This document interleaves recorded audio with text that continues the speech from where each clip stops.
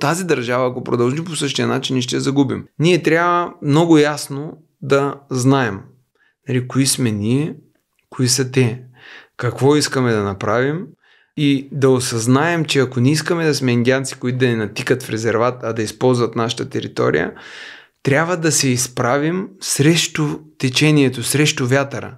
В момента ние търсим зад кой да се скрием. И си казваме дали зад Русия или зад Штатите. Ако ние нямаме национален идеал, ако ние нямаме обща цел, каквото и да направим, ние сме обречени. Българите дори не знаят какво ги очаква, ако загубят родината си. И заговора не е срещу България. Заговора е срещу всеки, от който може да се вземе. Такава е системата на Запад, всеки срещу всеки. Докато ние сме друг тип общество, ние сме свикнали да сме в заедност и в единство. Такава ни е вярата, културата. В тях може да покълне доброто семенце или лошото. Ако има къде да покълне доброто семенце, само с едно поколение и ние станем прекрасно място за живот. Трябва да намеря хора, които искат да служат на народа. Има други, които искат да служат на себе си. Трябва им кои сме повече. И вече това ще предопредели бъдещето на България. Дори някои смятат, че сме секта, защото сме хора, които гледаме да работим, да се развиваме, мислим по друг начин, нали? не ходим по дискотеки, не гледаме телевизия, а, дори в нашите хотели, там е места, които са за отсядане. Ние нямаме кабелна телевизия, имаме само филми, които да научат хората на различни неща, за хранене, а, за правилно мислене, всичко. И всичко е така направено, че като дойдеш там, ти попадаш в един друг свят. Моята задача не е лека, но пък Господ така е създал да има различни хора, както има камъчета, дървета, птички. Всеки един трябва да изпълни своето предназначение. Както Исус Христос с различни чудеса е привлякал хората, ние трябва да правим чудеса всеки ден и това е. Но чудесата трябва да са в правилно планиране, правилно изпълнение и ще съберем нужните хора, с които да продължим. Ще ги обединим. Няма значение дали ще победиш или ще загубиш, ти трябва да си дал всичко от себе си.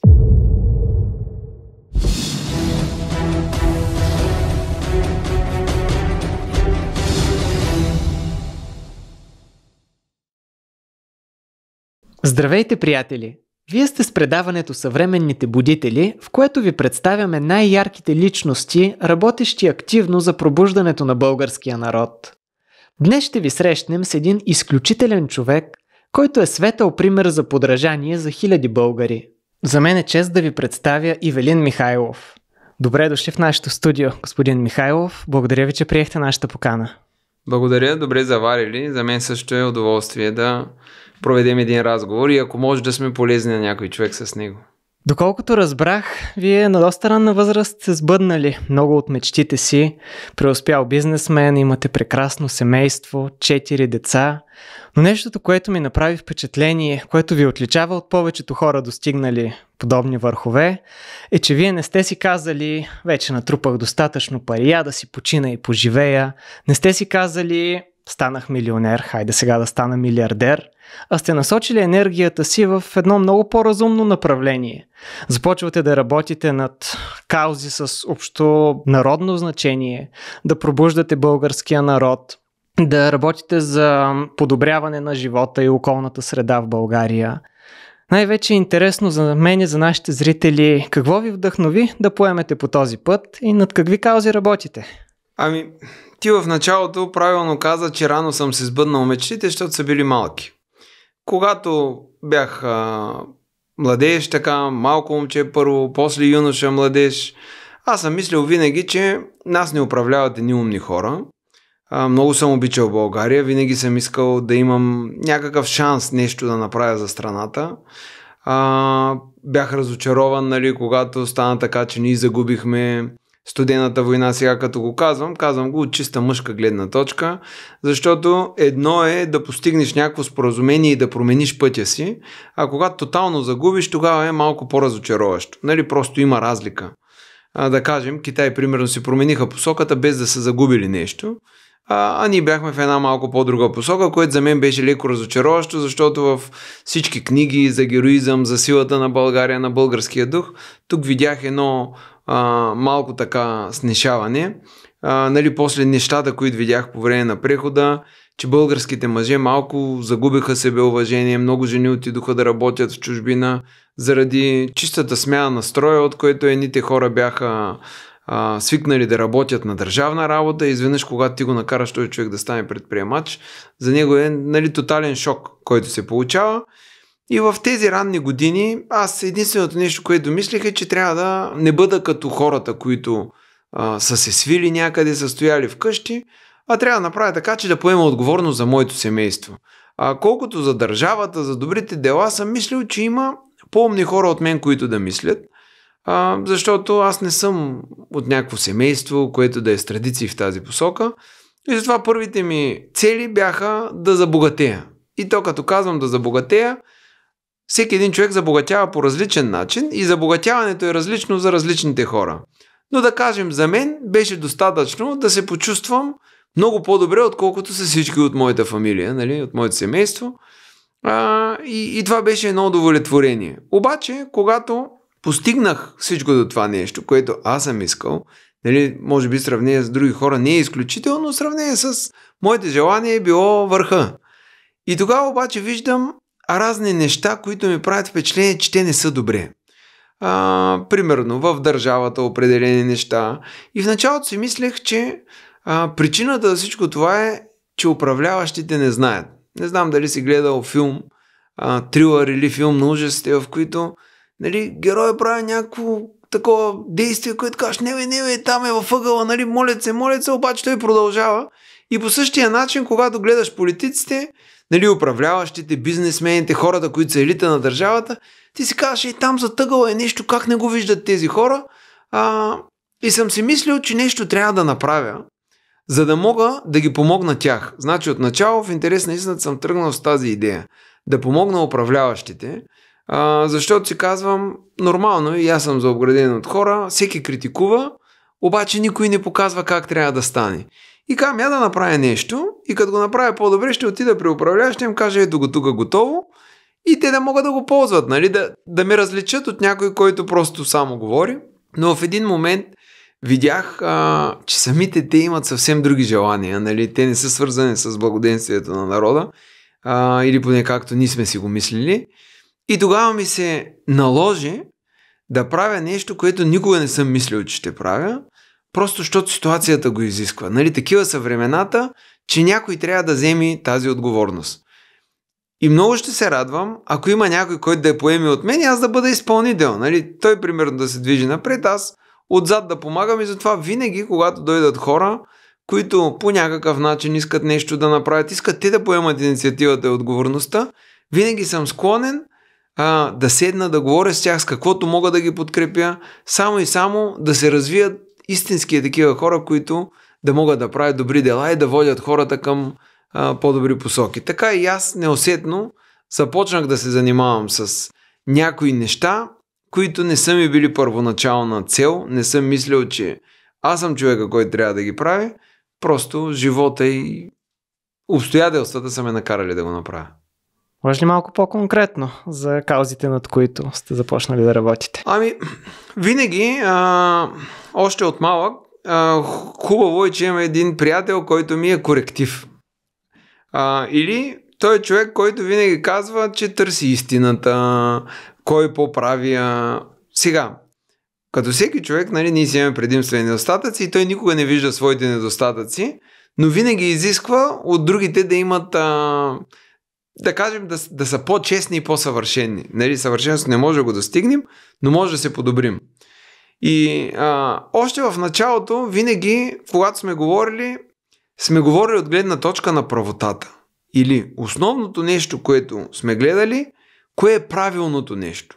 И правилното нещо човек лесно може да го разбере. Нали, то е нещо, което е добро за всички. А, ако само аз съм богат, а другите са бедни, това не е добро за всички. Нали, веднага разбирам, че това не е правотата и трябва да разбера как да стигнем до правотата. И с този мой приятел тогава, като малки се се дъвкахме, кой, кой направил правилното нещо, кой е грешното. Първото нещо, което винаги съм искал е да помогна на хората, които са били като мен.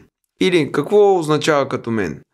Ами, когато съм бил малък, аз съм бил човек с желания, но не съм знаел пътя, по който да мина, за да мога да постигна нещата, които искам да постигна. И оттам нататък първото нещо, което направих е пак аз да го извървя пътя, за да видя кое нещо работи, Защото, когато човек чете книги, винаги има едно съмнение. Защото ние хората имаме една слабост да не вярваме. Ако вярваме, ако истински вярваме, много по-бързо се развиваме, но липсата на вяра а и винаги съмнението. Защо съмнението? Защото съмняваме в себе си. А, така че съмняваме и в книгите, и в написаните неща. И сега четем книги, те са 100% правилни. Обаче, много хора ги четат. Имаше един, даже казва, аз съм прочел един тон книги и пак същата работа. Значи, книгите не работят. И аз казвам, дай да седна да направя това нещо, което го има в книгите, пък да видя, нали, експеримент.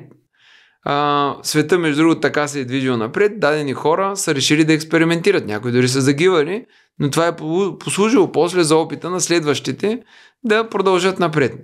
И не мога да отида да ти кажа, примерно, на те върви, ти експериментирай, а пък аз да стоя и да гледам, защото ако нещо не е наред, аз трябва да нося отговорност за твоя неуспех. И затова казах, нека аз да опитам и започнах да работя по книгите, за да мога да развия себе си като човек, който да може по-добре да реагира на обстоятелствата, по-да бъде разбран в света, да бъде можеш, да сбъдва нещата, които иска. И дори си спомням, че тогава имаха приятели, които ми казваха Ивчо книгата, смееха се, защото те изкарваха много повече средства от мен, аз изкарвах около 300 лева на месец, въпреки 16-часовия ми труд, постоянното четене, философстването, но резултатите не бяха толкова добри. Не защото в книгите не беше написано правилното нещо, а аз още не го прилагах. Или да прочетеш нещо, да го научиш да го приложиш са три различни неща. В един момент обаче успях да го приложа и то започна да работи безотказно. Или това, което се научих да правя, е да правя предизвикан успех. Както един човек, който може да меси а, питка, той винаги може да я умеси. А, намира си нужните съставки и прави питка. Или да можеш да успееш е нещо, което човек може да възпита. Има съставки. И нали, това ми беше първото нещо, което е обществено полезно, аз да съм експериментатора на даден път, който да е предсказуем. Защо казвам да е предсказуем? Защото до тогава съм говорил с много хора и никой не ми е дал формулата на успеха. Никой не ми е казал първа стъпка, втора стъпка, трета стъпка, четвърта стъпка, точно ги правиш, ще успееш. Или да ми разпише една програма, по която аз да се движа, за да успея. А, книгите, които ги четяхме, бяха се учили някъде на запад. Хората казват, те работят там, тук не работят. И аз успях да мина наистина честно пътя от 0 до 1. Да стигна до това, което може да прави предизвикан успех. След като го направих това нещо, вече много исках да го споделя с други хора, които са били като мен. Защото през годините, в които съм търсил пътя, а не съм го знаел, нали, не съм бил сигурен дали това е пътя, дали стават така нещата, аз съм изпитвал много мъка и болка, защото се чувствам, нали, искаш нещо, обаче не знаеш как да го постигнеш и някак си загубен. И си казвам, защото в разговорите ми с хора съм виждал много себеподобни хора на мен. И съм си казал, второто добро нещо, което мога да направя, е да ги науча тези хора и тогава правя света по-добър. Като на всеки един съм казал, виж какво искам от теб, просто да го предадеш нататък. Давам ти нещо, което не е твое. Нали, то е мое. Не искам да ми плащаш, но искам да го предадеш поне на още един човек и нямаш дълг към мене, вече става твое. И това е второто нещо, което започнах да правя, да обучавам хора. Обаче в един момент, когато започнах да обучавам хора, видях един проблем – аз го обучавам, той се връща в старата среда и отново става същия какъвто е бил преди.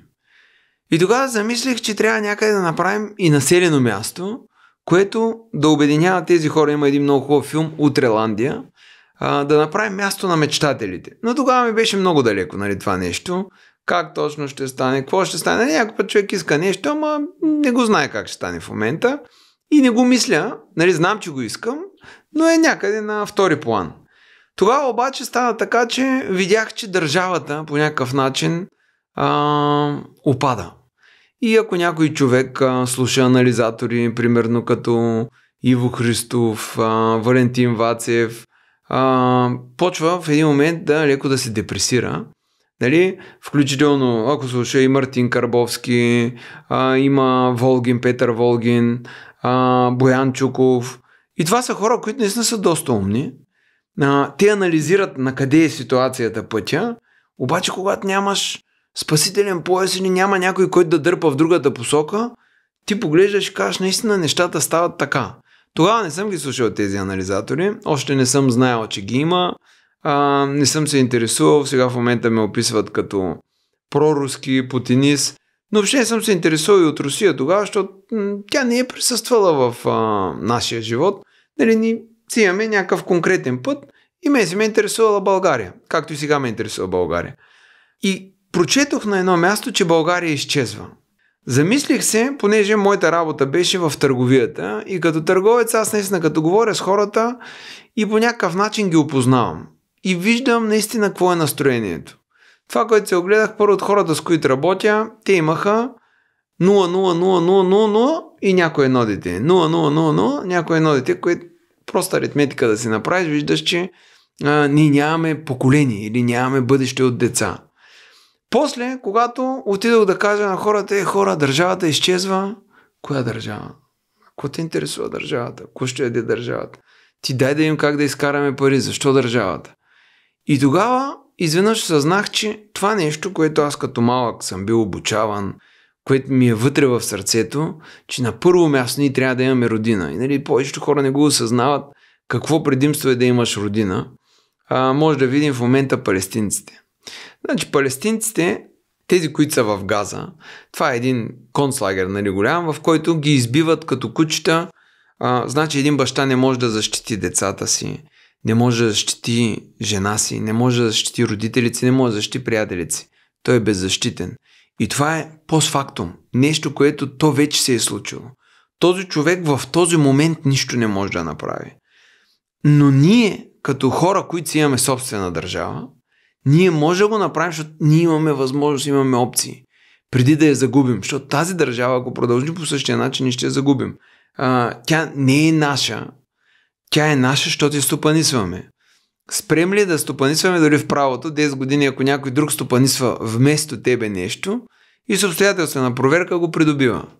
Абсолютно същото е в света. Нали? Ние не сме били първия народ, сега като кажем народ, а, ние сме се формирали от народите, които са били тук, но съвременният български народ е примерно тук от 1300-400 години. А, което означава преди това имало и други хора, които са предявявали владение към тази държава. Също това, което съм видял, понеже като малък, аз съм дете на разведени родители, живял съм малко в Плевен, обаче там никога не са ме приемали като а, плевенчанин или като местен, а, понеже майка ми е с силно а, изразено чувство за принадлежност към Горна Оряховица, там Велико Търново края, от който съм, а, от който е тя, нали? Баща ми е плевенчанин. И понеже брат ми на 100% приемаш, че е плевенчанин, аз винаги съм се приемал, че съм и от двете места и бях някак чужд. После, въпреки че съм в моята държава, когато отидох в Горна Оряховица, пък винаги ме приемаха като полуплевенчанин. Сега живея примерно до Варна, ме приемат като а, пак някакъв чужд. И дори имало хора, с които говорим, бях купил един терен, а, стар детски лагер, който пак искам да го направя, къмпинг, детски лагер, да е хубаво място. И от него пет камиона големи буклук извадихме. Нали, това е частна сделка от частни лица. Дойдоха едни хора и казаха, а, ние си искаме това място, нали, този детски лагер. И аз казах, ако искате толкова, мога да ви го продам. Не, не, вика, а, ние, ние си го искаме да си го ползваме, как сме си го ползвали преди. Защото каза, на теб не ти е мил, ти си чужденец, на нас ни е мил. И аз казвам на вас, защото ви е мил, затова има пет камиона буклук тук ли.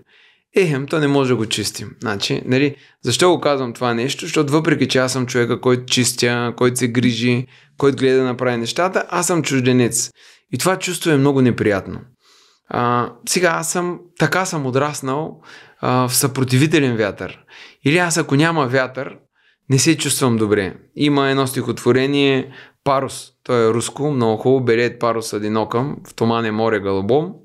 А, и нали, накрая така завършва, че платното не иска слънчеви лъчи и не иска гладко море, той иска буря. Нали? И само в бурята живее. Аз съм такъв човек, който живее в бурята. Обаче това, което съм забелязал, повечето хора не живеят в бурята или тя ги прекършва. И българите дори не знаят какво ги очаква, ако загубят родината си, Малко мислим като цигани, нали, като го казвам като цигани, не искам да убия циганина като етнически елемент, защото примерно английските цигани, френските цигани, български цигани са различни като етнос. Те имат обаче едно общо нещо. Те не мислят за утре, не мислят за вчера. Те мислят само за сега.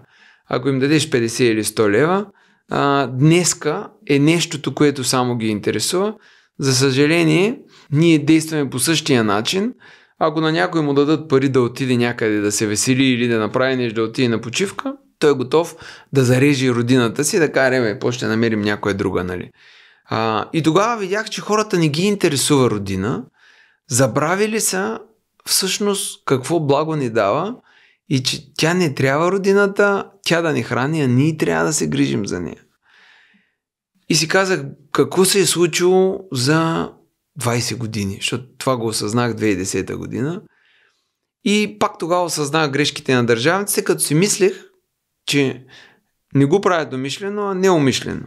И тогава реших да направя исторически парк, като първо нещо, което да е спойката. Хората имат нужда от идеология, от някаква спойка, която да ги накара а, да могат отново да осъзнаят защо са заедно. Защото само заедно можем да правим много неща. И второто да покаже, че економически ние може да направим нещо голямо. Може да го направим в България, може да го направи обикновен човек като мен. А що може обикновен човек като мен? Значи всеки може да го направи. Или, а, ние сме страната на неограничените възможности. И така тръгнах да правя исторически парк, като един гигантски проект. Нали, гледал съм National Geographic там и има мега проекти, нали, където казват някъде. Да има един мега проект в България, да нямаме малкото мислене, махленското, нали, да се направи къщичката и толкова. И така, успях с исторически парк, с а, други неща, място, където в момента да живеят хората и да се развиват целенасочено. Примерно днеска ми се обажда едно момче на 23 години от Англия, българче, но отишъл в Англия, ка искам да се върна, искам точно при вас, защото там е място, където да живее и да се развива. Постоянно идват хора. И това ми пълни душата, защото ние им даваме шанс да се развиват. Много от хората се развиват, дори някои смятат, че сме секта, защото сме хора, които гледаме да работим, да се развиваме, мислим по друг начин, нали? не ходим по дискотеки, не гледаме телевизия, а, дори в нашите хотели, там е места, които са за отсядане. Ние нямаме кабелна телевизия, имаме само филми, които да научат хората на различни неща, за хранене, а, за правилно мислене, всичко. И всичко е така направено, че като дойдеш там, ти попадаш в един друг свят. И това е а, най-доброто нещо, човек да може да сравни. Някой път даже има хора, с които работя, казвам, знаеш какво, трябва да отидеш малко в другия свят. Постой 6 месеца, една година. Трябва да направиш сравнение, за да знаеш какво имаш тук, какво имаш там. Ако там ти харесва повече, значи си за там. Защото, нали, аз искам да имам осъзнати хора, които да работим с съгласие и да сме в една посока. И понеже целият свят е еднакъв, ние можем да направим едно различно място, където така го казвам страната на свободните хора. Какво разбирам под свободни хора? Ами ако ти си човек, който правиш повече от мен, ти трябва да имаш път по който да се развива, защото така ще допринесеш за общото благо на всички. Да, няма да кажат хората Евелин е патрона, но пък аз ще живея по-добре, отколкото в другия случай. И долу-горе това са част от нещата, които правя. Би било прекрасно на повече места и страната да никнат като гъби подобни места, но определено ни чака много работа в тази посока. Направи ми впечатление още от началото на разговора ни, че имате кръщче голямо на врата. Като да. цяло, доколкото знам, сте доста вярващ човек. Имаше ли някой преломен момент, който ви каза, ето, има Бог, има смисъл в този живот или от малък си го носите? М- значи, от малък, както казах с моя приятел, гледаме правдата. Но, нали, когато един човек е раснал в семейство, което ходим на църква, кръстен съм, а, но не съм, не сме били от този тип хора, които а, спазваме някакви празници, спазваме християнските ценности, но не сме ходили толкова в а, църква. Все още смятам, че аз съм по-скоро боец, отколкото духовник. Или всеки има предназначение на света. И моята задача не е лека, но пък Господ така е създал да има различни хора, както има камъчета, дървета, птички. Всеки един трябва да изпълни своето предназначение. И м- в годините много съм търсил, а, отначало не съм го търсил в духовното. А, изцяло се бях насочил към науката. Да търся все едно смисъла, правдата. И в търсенето и многото действия стигнах до Бог. Нали? Убедих се, че го има. А, без да търся по начин, по който има ли Бог или няма, аз съм търсил смисъла. И когато човек търси смисъла, стига до Бог, нали? Просто а, някакъв естествен процес. Ако някой а, има такава благодат да го повярва, без да се налага да губи цялото това време, много по-благословен ще е, много по-хубави неща ще му се случват в живота. Но аз съм човека, който по пътя на търсенето, на правилното, съм намерил, че всъщност Бог е правилното и съм 100% сигурен. Не съм от хората, имам един приятел, той чете Библията 10 пъти, аз чета по-малко, защото гледам нещо, като го чета, да си го разбера, то си ме остава. И не съм е чел цялата. И той даже някой път ми казва, защото и преди нали, за някои неща сме говорили, а, вярата е нещо, което човек го има не защото е доказано, нали, както и любовта. Аз не обичам някой, защото той ме обича. Аз го обичам, защото избирам да го обичам. Нали? Това е. И тогава, той е, тогава е силата, тогава е извора, който имаш. И така и аз съм вярващ човек. Трудно стоя на литургии, на други места. Още не мога да ги разбера цялостно. Ходя, помагам в манастири, на църкви, на всичко. А, вярвам го на 100%. И, и това ми дава сила. А, но е станало постепенно. То всъщност самото християнство не е всяка неделя да си на църква, а да постъпваме колкото можем, както Христос би постъпвал. Точно така. Да, да постъпваме доблесно, нали? да, да правим нещата, които Бог би направил, да. Далеко сме от Него, но... Стремежа е важен, да. както казахте. Не можем да сме съвършени, но можем всеки ден да се опитваме да сме да по-близо. Да сме по-добри от, да, по-добри от вчера. Точно така. И може би това е един от ключовете за вашия успех – понеже аз слушах внимателно, първо изпитанията, страданията, трудностите. Колкото повече успяваме да преодоляваме, толкова по-добри сме за следващите задачи, които Бог ни е приготвил. И второто, извинявам се, че прекъсвам, най-вече това, че, пак доколкото разбрах, стремежа е бил как да помогна на другите с това, което аз правя. И когато ние искаме да дадем, то на нас ни се дава винаги повече. Винаги съм гледал, да, да имам предназначение – а, и да съм един човек, който в света поне да съм на нула. Колкото съм консумирал, поне толкова да съм върнал. А, не виждам честност в това да, аз да поема повече, отколкото да върна на света. А, и затова винаги съм гледал да има някакъв баланс и равновесие. И това е нещото, което ме е водило в тази посока. А колкото до трудностите, колкото по-напредва човек, по-често ги има трудностите, но в един момент разбираме, че ние не можем да търсим честност и справедливост от света около нас а, и че ние трябва да, да не се приемаме като ролята на жертва, а ще да кажа, о, пак ли на мен го направиха това нещо, а да се приемем в ролята на хора, които да помислим какво трябва да направим в тази посока, защото ние сме в една игра, в която аз не искам да надцакам другите или не искам да взема на другите. Но искам да продължа в моя път. А за да продължа в моя път, това е най-голямата борба, защото хората всъщност най-не харесват справедливостта. И това го казвам от най-богатите до най-бедните. Защото ако тръгнеш да правиш правилните неща, хората си казват, чакай бе, за къв се мислиш ти, а, че ти да го правиш даденото нещо, ти с какво си по-добър от мен. Нали? Значи хората, някой ги мисли, че са възрастни, защото са на много години, нали, и са по-умни и зрели. Всъщност един човек е толкова зрял, колкото е изживял, колкото е научил и той може да е на 60 години, пък да е 6 годишно дете. Така че не може да ги съдим по възраст или по други неща. Някои а, са се озлобили от това, че не са намерили себе си. Не от това, че другите са ги натискали, от това, че не са намерили себе си. Когато се е озлобил, той иска да докаже, че света е такъв. Има много хора, които казват, знаеш ли, а, света е създаден гаден. А света е неутрален. Ние го правим добър или лош. Но защо е това убеждение? Защото по някакъв начин се е провалил самия той. Не заради външните фактори, толкова заради вътрешните. Човек вижда каквото носи в себе си в крайна сметка. Света е едно огледало. Ние сме народ, който е бил през от хилядолетия свързан с земята, с природата. От век насам обаче наблюдаваме една голяма вълна. Хората, особено младите хора, бягат от селото към града. Мислите ли обаче, че се задава една противоположна вълна? Вече започват все повече хора да се замислят, абе мен в София и в Пловдив и Варна май не ми е толкова хубав живота. Дали предстои възраждане на българските села според вас? Това зависи от нас как ще ги организираме. Понеже в съвремието, наистина чрез жертвите на много хора, ние сме успели да придвижим технологическата революция, организационната революция да е на много по-предно ниво, отколкото са познали нашите предци. А, и е нормално да приложим тези знания и в по-малките населени места. А, винаги м- света се движи по стъпките на тези, които дърпат напред.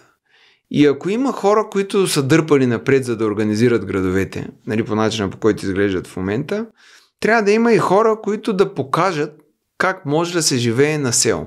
Поне повечето хора свързват селото с това да се доят крави, а, да ходиш да береш царевица или нещо друго.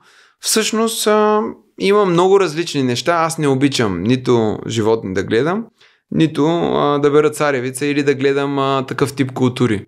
Но пък на мен много ми харесва да се грижа за дърветата и това бил го правил до края на живота си.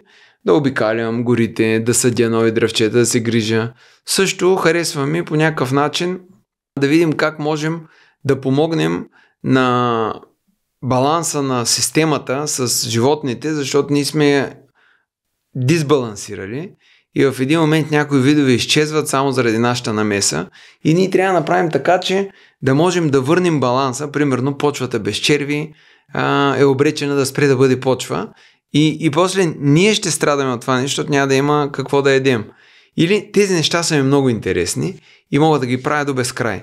Дали всеки един си има някакво предназначение. Но селата и тяхното възраждане зависи само от хората, които ще ги организират. Защото ние трябва да се справим с престъпността там, трябва да се справим с а, правилно поддържане на населеното място, правилното отношение и не по-малко важно е в селото ние трябва да го направим извор на знание и на развитие.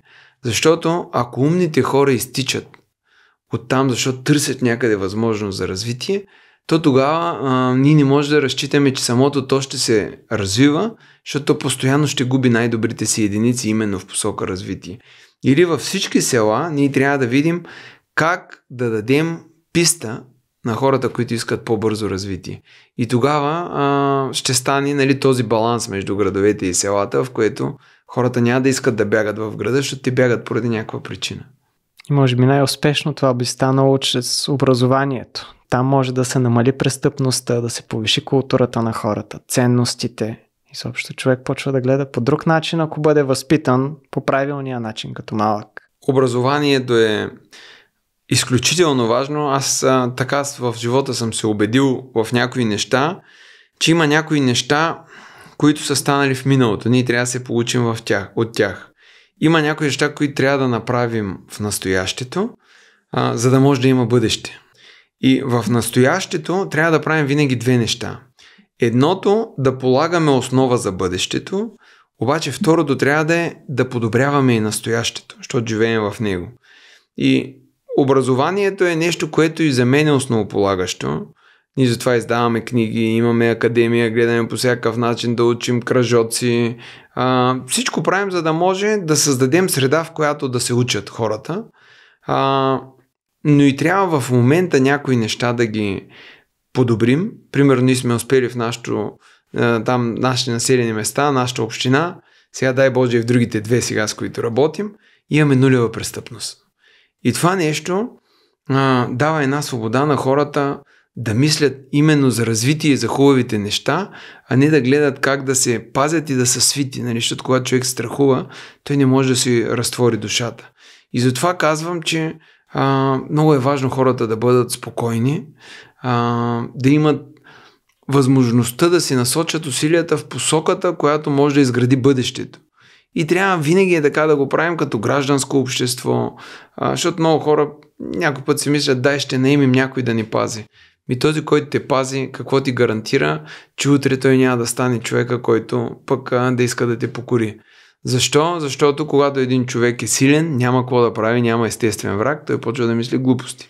Затова трябва всички ние да бъдем и от едното и от другото. Нали? Хората, които учат, които се грижат за бъдещето, но и които се грижат и за настоящето. Точно така, напълно съм съгласен. А за какво мечтаете? За настоящето и за бъдещето.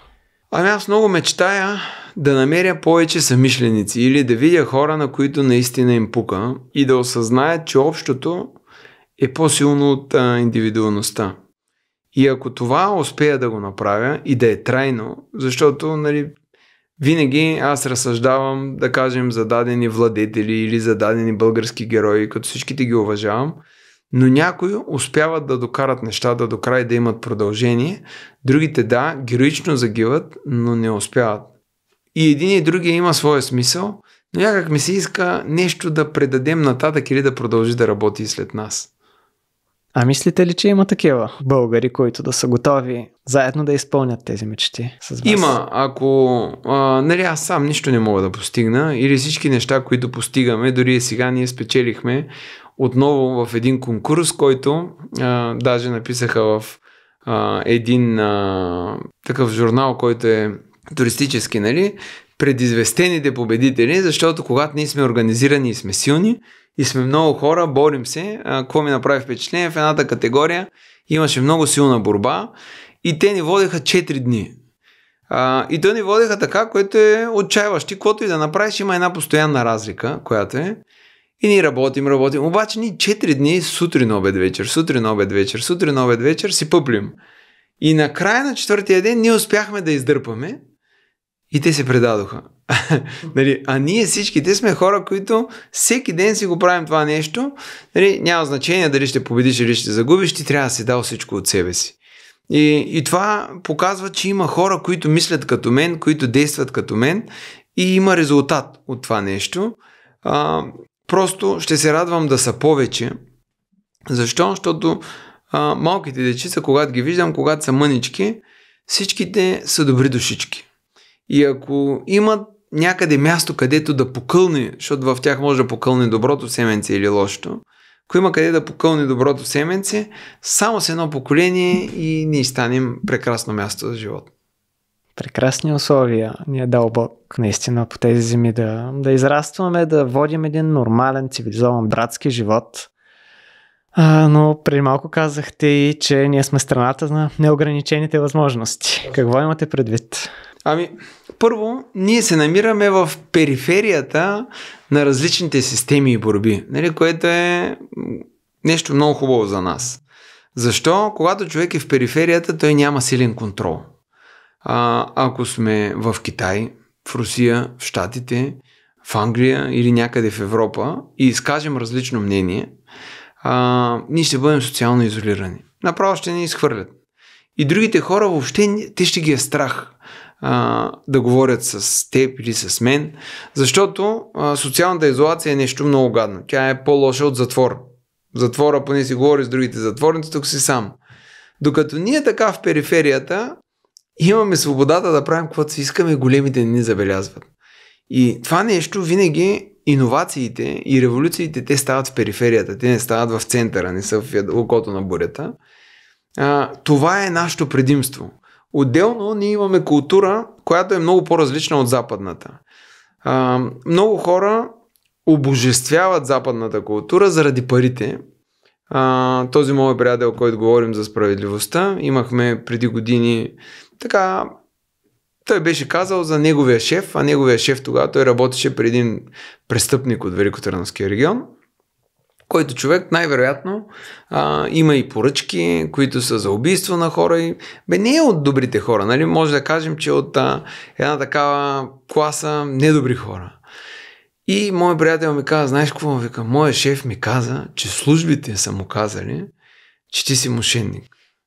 И аз му казвам, добре сега, виж, не ти ли се струва странно, че твоя шеф, който е престъпник, нали, то престъпник, от както се помним, службите отиват на него да му казват аз какъв съм и какви сте службите и да го заловят, те нали, отиват да му докладват. Значи това е първото нещо, което трябва да направи. Нали, някакво впечатление, че нещата не са наред. И го питам, добре, след като ти ме познаваш цял живот, а, каква би била причината да му вярваш на него? И той ми каза, ами защото той има повече пари. Защо го казвам това нещо? Защото ние се кланяме на Запада, понеже имат повече пари. И малко като просеци разчитаме някой да ни даде някакви пари, което е отвратително, защото ние бягаме от Бога в нас. Нали? Ние сме създатели, ние сме просеци. А, но западният свят е свят на нискоинтелигентни хора. Нали, аз не искам да ги обидя. А, нищо не искам да взема от тях. Искам да си живи и здрави, да си живеят добре. Нали, защото някой човек може да помисли, че това е а, че едно дискриминация или нещо се мъча да прави. Не, не, тези хора просто те са нискоинтелигентни и затова винаги тяхната организация е била такава. Те трябва да бъдат ръководени и да им се каже прави едно, прави две, прави три, прави четири. А, преди години си спомням как а, хората в България казаха на Запад той кружка не иска да се развие и идват да му а, развият кружката. Още от а, средновековието, защото те тогава възниква западното общество такова, каквото е, то няма нищо общо с Римската империя, а, още в средновековието а, те са много диви хора, които се самоизбиват. При тях ордените, примерно, които са монашеските ордени, винаги са военни. Те трябва да ходят, да воюват някъде, за да може тази агресия да се насочи навън. Докато при нас, още от едно време, нали и сега, монасещото всъщност е най-висшата форма на хора, които мислят разумно. Затова казват, ние сме индивидуалисти, не, ние не сме прости хора.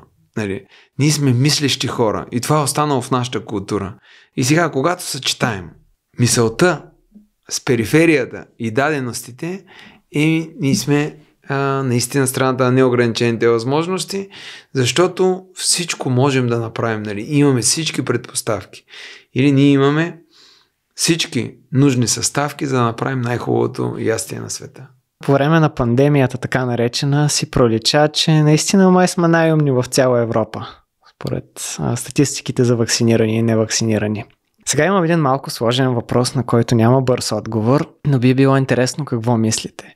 Кои според вас са най-сериозните наболелите проблеми в България и ако хипотетично бяхте министър-председател, какви стъпки бихте предприели в тези трудни времена? Когато човек е министър-председател, първото най-важно нещо е да има хора с които да работи, защото всяка една задача, за да се разпространи някъде, да може да се изпълни, трябва да има а, нужната организация от хора, с които това нещо да се постигне. Но второто най-важно нещо, то даже не мога да кажа кое е първо и второ, може би другото е първо, да. Това е хората да имат съгласие. Първото нещо, което трябва да направим, да си зададем въпроса, кои сме ние, за какво сме тук, сме тук и за какво се борим, нали? Кои сме ние българите? Какъв е нашия национален идеал? и да тръгнем да се борим за него. Ако ние нямаме национален идеал, ако ние нямаме обща цел, а, каквото и да направим, ние сме обречени. И затова първото нещо е да постигнем съгласие по тази тема и тогава вече да продължим напред. Така че първото нещо, което чак да направя е по някакъв начин да имаме дебати, да отидем да говорим с хората, да стигнем до едно общо заключение, да го запишем в Конституцията, понеже аз съм роден по времето на комунизма аз съм роден в Народна република България. Когато съм се клел, съм се клел да служа на народа. Нали, в армията. Това е моята основна ценност. Аз служа на народа. А трябва да намеря хора, които искат да служат на народа. Има други, които искат да служат на себе си. Трябва им кои сме повече. И вече това ще предопредели бъдещето на България. Дали се борим за народа или се борим за себе си. И оттам нататък вече може да разчитаме на промяна. Споменахте за комунизма. Да. Доста неща са се променили от тогава. От един от големите износители на първокачествена храна, например, сега народа не се храни с вносни буклуци. За кратко време съсипаха енергетиката ни, индустрията ни, земеделието, образованието. Можем ли да си мислим, че има някакъв заговор срещу българския народ? Той не е срещу българския народ, той е срещу всеки народ. Даже аз а, обичам да използвам тази фраза, че ние сме индианци за тях. А, първата така силна книга, която ме повлиява, когато съм прочел е Синовете на Великата мечка. И оттам ми е останало впечатлението белите хора как искат да вземат всичко на индианците и ние сега сме в ролята на индианците. А, виждаме, тя цялата им история на западните общества е такава да вземат някъде от нея. Те са като паразит, нали, който отива и изконсумира всичко. Въпросът е, че и са лукави. Са умяват да се приближат, да ти се направят на приятели, уж да ти дадат нещо, после те скарват с брат ти и нещата стават, нали, отиват в една такава а, лоша посока. Поради тази причина ние трябва много ясно да знаем нали, кои сме ние, кои са те, какво искаме да направим а, и да осъзнаем, че ако не искаме да сме индианци, които да не натикат в резерват, а да използват нашата територия, трябва да се изправим срещу течението, срещу вятъра. В момента ние търсим зад кой да се скрием. И си казваме дали зад Русия или зад Штатите. По време на комунизма имаше нещо отвратително и това беше а, номенклатурния елит. А, или тези, които се пишеха за комунисти, нали, това е много важно хората да го разберат, че думата, а, много хора се крият за думата, но те влагат друго значение в нея. Защото има много хора в днешно време, които са на 100% прави, като казват мразим комунистите. Да, защо са прави? Те мразят комунистически елит, който, а, за съжаление, нали, комунистически елит беше воден от идеята, нали, така беше организирана системата тогава. Системата беше организирана в полза на хората. Комунистически елит можеше да бъде само два пъти по-богат. А, и каквото и да правят, те не могат да избягат от тази система. Нали. Това правиш така, че а, ако искат да са още по-добре, трябва и хората да са добре. И затова в СССР продадоха системата и намериха и тук продажници в България, които да го направят, нали, от елита, именно от комунистически елит, да заменят всички блага, които заедно сме създали, да ги присвоят те. И заговора не е срещу България, заговора е срещу всеки, от който може да се вземе. Такава е системата на Запад, всеки срещу всеки. Докато ние сме друг тип общество, ние сме свикнали да сме в заедност и в единство. Такава ни е вярата, културата. А, едно време, нали, когато византийските хронисти описват България, казват, българите бяха народа, който не беше нужно да завладява другите народи с сила, те самите се присъединяваха към него заради справедливата система и добрия живот, който имаше при тях справедливата система. Нали? Това е нещо, в което винаги при нас владетел е ставал най-можещия, най-знаещия, най-допринасящия, но основата е било за цялото. А сега това, което се мъчат да ни втълпят насякъде, е, че ти си най-важния. Не, не, не. Без другите ти си нищо. Наистина имаме традиции в а, управниците, но сега са сякаш антиелит хората, които виждаме да ръководят народа и то от доста време насам. Все пак има една голяма добра новина за българския народ, че въпреки, че изглежда супер мрачно перспективата и като демография, и като енергетика. Изобщо целият свят не върви на добре, но има много пророчества от доказани ясновидци, като Ванга, Слава Северокова, Петър Дънов, които казват в общи линии, че когато света тръгне на зле, България ще тръгне на добре. Че ще се появят читави хора, които да поведат народа. Как усещате вие бъдещето на България? На къде ще поеме? Изцяло зависи от нашите ръце. Нали, това от една страна е плашещо, а от друга страна е голямо щастие. Защото ако гледаш политиците нали, от телевизора, а, ти можеш само да се ядосваш, да се страхуваш, а, да си неудовлетворен, но нищо не можеш да направиш.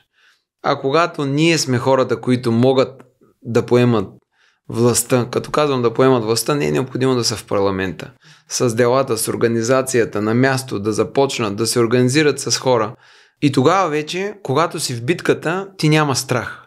Ти не мислиш за нали, какво може да стане, ти мислиш само как да извървиш следващата и следващата крачка. И това е нещото, което имаме шанс да направим. Имаме шанс да променим съдбата си. Между другото, тези ръководители на България в момента, те са хора, а, които пак са успели да използват думите, обстоятелствата, а, за да отидат във властта но това не са реални ръководители. Нали? Те са псевдоръководители, ще кажа защо. Те не вярват, че могат. В работата ми, а, понеже аз не съм някакъв а, изключителен предприемач, като примерно да кажем Милан Мъс, Стив Джобс или други, които са направили някакви големи неща, аз съм един средностатистически човек. А, нямам контакт с а, някакви супер богати, някаква система, която да е зад мен, милиони потребители. И като такъв, когато отида да говоря с много богати хора и виждам, че тези хора, м- те са под средното ниво за България. Ще го обясня защо. Това са хора, които са успели да забогатеят от далавера. Те не вярват, че сами могат нещо да направят. Те могат да забогатеят като нарежат някой склад, като продадат някои предприятие, а, като откраднат примерно нещо, като свършат работа. Ето едно от нещата, които искат да направите, да продадем ЖП транспорта ни, унищожават го целенасочено от години, а, за да може някой да го придоби на без пари. От това да, могат да изкарат пари. 30 години той може да съсипва ЖП транспорта, да му плаща някой отстрани и ние да мислим, че той човек е предприемач. Не, не, не. Това са паразити, които имат нулева вяра в себе си. А, има една много хубава книга, Тлееща жарава. Като малък съм е чел за селския цар, винаги по времето на комунизма много съм се вдъхновял от Ивайло и от Спартак. Това са двама героя, които са обикновени хора, които днешно време се мъчат да ни обяснят. Не, те са цари, те са боляри. Що? Защото искат да ни втълпят, че обикновеният човек не може да направи промяна. Трябва да е някакъв специален. Нали, това е в идеологията. А, но тогава царете, които са управлявали България, има даже за кратък момент и чака управлява България, нали, което е падение, в което ние сме нямали а, възможност някой да се изправи да каже, ей, аз мога да взема решение, мога да нося отговорност и ако някой иска да ми го оспори, съм готов да вляза в битка с него. А, чака, може би американския посланник в момента тук, долу същата аналогия, но винаги ще има и селския цар, който да покаже, че нещата са различни, малко да стресира и да тръгнат нещата в друга посока. Сега, после дали се успокоим, защото след този кризисен момент за България, когато са възстанията на Ивайл, обикновенно идва просперитет. Причината за падението е най-съща, нали, както при Симеон, а, както при Ивана Сен II, после където следва отпадъка, както при Иван Александър, тяхното многоженство или когато се оженят няколко пъти, а, имат различни наследници и почва една борба между наследниците и това е нещото, в което а, следва проблема. Но самите владетели са били силни владетели, те са можели много и вярвам, че този момент може да роди правилните водачи, които а, най-важното ще имат изподвижници, които когато са видяли лошото, ще знаят за какво се борят. Защото ако до сега всичко беше добро, няма място за нов водач, защото той стария си върши работата. Така че имаме бъдеще. Просто трябва да видим тези хора, които ще заявят някакви възможности, че имат и да ги оправдаят с действията си. Имаме наистина много силни водачи, лидери тук в България, само че това, което ни предстои да вършим е отборна игра. Една индивидуалност нищо не може да свърши. И а, много ми хареса това, че казахте, че от нашите задружни усилия зависи на къде ще продължи България. Въпросът е защо сме толкова разединени? Защо хората всеки искат той да е напред и другите не стават? Аз съм сектант, казват. Вие сте сектант. Всички не стават, само някой там, който е, казва аз съм човек. И всеки като каже аз съм човека, нищо. Как може да се обедини този народ? Ами, пак зависи от нас. Или това зависи от водача. Дали ще разделя хората или ще ги обединява. Как могат да се обединяват хората? Това, което аз съм достигнал като заключение, защото когато го говоря аз, не е абсолютната истина, е това, до което аз съм достигнал, е делата, които водят до последствия. Или, когато кажа, че мога нещо, аз трябва да го направя това нещо в бурно море. Или трябва да го направя в условията на недоверие. Но когато резултата покаже, че това нещо е било правилното, тогава вече хората ще са готови една част да се присъединят към мен. И така с всяко чудо, както Исус Христос, с различни чудеса е привлякал хората, ние трябва да правим чудеса всеки ден и това е. Но чудесата трябва да са в правилно планиране, правилно изпълнение и ще съберем нужните хора, с които да продължим. Ще ги обединим. Ако си поставим за основа наистина едни идеали, едни ценности, кажем, ние твърдим, че сме християнски народ, да поставим за основа Христовото учение, да надграждаме над него, да изградим едно общество върху тези принципи, тогава, ако Бог е с нас, кой може да застане против нас? Точно така. Ние дори направихме една картина, а, която е Давид срещу Горият. Голят е огромен, Давид е малък, обаче зад него е един архангел, който а, като е с него няма кой да го победи. Нали? Това е а, правдата винаги дава огромна сила. Това е бъдещето на България. И бъдещето на света, ако съществува. Прекрасни неща споделихте. Може ли за финал да отправите своя призив към нашата аудитория? Това, което искам да кажа на хората е наистина да повярват в доброто и нали, много често хората се разочароват от някой, а, дали защото някои са го наклеветили или защото някой наистина ги е разочаровал, но а, аз винаги правя едно и също нещо много хора в живота ми са направили така, че да направят различни неща от това, което са заявили. Аз обаче на всеки човек продължавам да му гласувам 100% доверие, когато се запозная с него. Не ме интересува миналото. Някой път питат, търси ли го в интернет? Казвам, не, мен не ме интересува какво пишат за този човек. Мен ме интересува в момента да имаме с него договорка и от тук нататък, ако той спазва договорката, това е човека с който общувам. Ако той не си я спазва, значи не става. Но, когато някой ме предаде, нали, в кавички го казвам да ме предаде, защото а, за да ме предаде аз трябва да съм някой, пък ние всички сме никой. Слагам този смисъл, който хората влагат, той ме предаде. Ако някой ме предаде, аз си казвам така, значи този човек а, е имал в мое лице единствения човек, който е бил готов да умре за него. И аз наистина, когато кажа, че съм с един човек, аз умирам с него. Той предпочете да отхвърли този дар. Кой губи повече? Той или аз? И продължавам до следващия, който ще го приеме. И така ставаме свръзка, като молекули, после ставаме клетки, после ставаме организъм. Моя съвет към хората е да не търсят от какво са разочаровани, а винаги да подхождат с 100% доверие. Винаги. И да дават шанс на човека на дела да покаже кой е. Да, 10 човека да ги разочароват. Един да приеми тяхната подадена ръка и ще спечелят много повече, отколкото ако не се доверяват на никой. Или това, което искам да кажа е да гласуват доверие, да бъдат хора, които на 100% да дадат своето доверие. Един мъдър човек е казал, че един добър човек струва колкото хиляда лоши, така че наистина си заслужават и разочарованията, понякога и ножовете в гърба, само за да намерим една шепа хора, които наистина са верни другари, с които можем да свършим някаква добра работа. Прекрасно е, че сред българския народ има човек като вас и ще се радвам и в бъдеще да имаме възможности да обединим сили за светлото бъдеще на България. Успех с тези хубави начинания, над които работите и Бог да бъде с вас.